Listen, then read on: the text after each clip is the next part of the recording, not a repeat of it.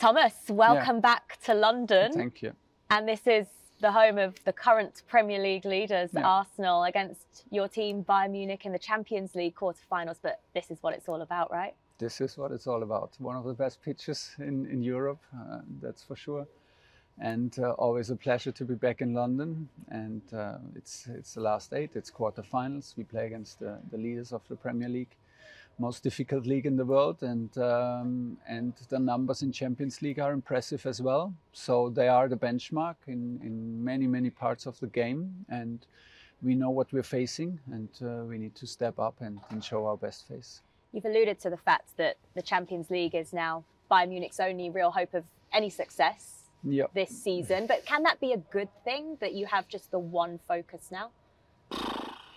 I don't know. I don't like it. I like to be to have the focus on on as many uh, trophies as possible. But that's um, that's the way it is. I think it helps if we face reality. Reality is that we lacked uh, consistency in Bundesliga. We lacked hunger. We lacked intensity throughout the matches, in matches. That it's just the way it is, and we have to face it, and we have to face criticism for it, which is uh, fair enough but tomorrow is a different competition. Um, we are in quarterfinals. This is what we expect from us, is what I expect from myself. But now we are here. From now, it's only about showing top level and show, showing showing the best version of yourself and, and showing character and uh, and and and grit and um, um, even if of course if you play in London, if you play at Arsenal, then then then you know you, you reach the highest level. And this is uh, what we expect from our team. It's not easy because we lack this uh, freedom, freedom of mind when you have consistent uh, wins that we don't have.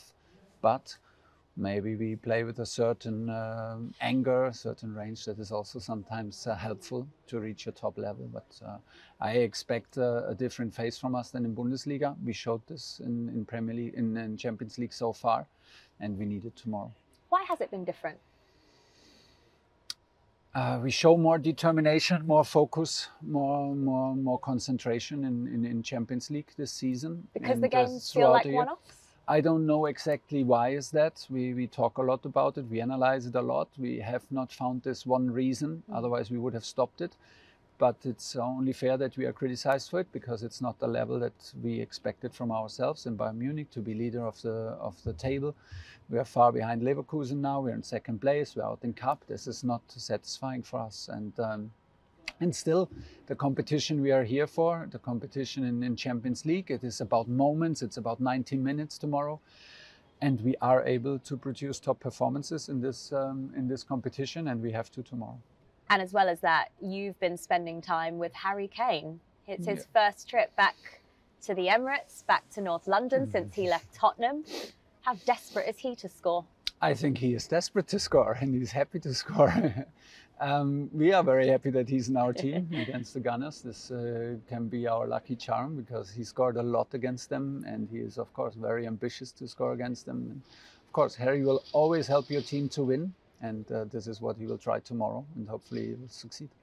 For Bayern Munich, a club that have been so successful before, and obviously six-time European champions. Yeah. The last time they won it was in 2020, and they've yeah. gone out in the quarterfinals at every stage since. Does that just go to show how difficult this competition is to win? Yes, I mean sometimes uh, sometimes I use the example of, of Juventus, uh, like like how long they're waiting for, for being in a final, for winning a final, mm. and, and and you hear the number, it's, it's simply incredible because Juventus is such a huge brand in world football, and, and of course here as well at Arsenal, and, and even for us, so the time seems long, but it's not that long. But even to make it um, to semi-final and to final is a huge achievement. We forget about it as soon as we have a winner all the glory goes to the winner, all the fame goes to the winner. Fair enough, all the praise goes to the winner, but it just reminds you how difficult it is to reach semifinals, to reach the last four. This is why we're here, and then maybe, hopefully, we can do that. Hopefully, we can do the next step. But yeah, it just tells you the story. It humbles you, makes you be fully aware how difficult it is, but it's also very exciting well, on the other side of that, you know that praise, you know yes. that feeling, you've won and it. It's addictive. It's addictive, of course. You want to have more and again and again. It's like the, the feeling the next day, latest two days after it. It's I want to have this again, and that's why we're all addicted and we're all in love with this sport.